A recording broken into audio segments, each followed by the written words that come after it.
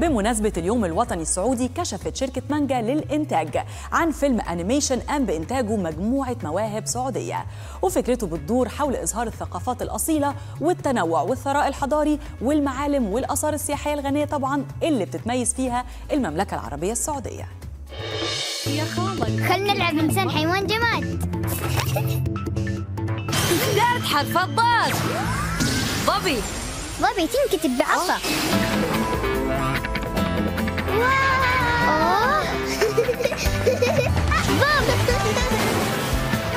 罗，罗杰。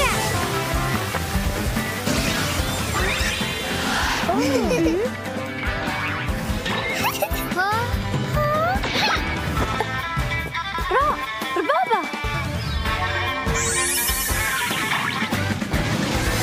我有这个罗。是那是那是。给我啊，就是那个。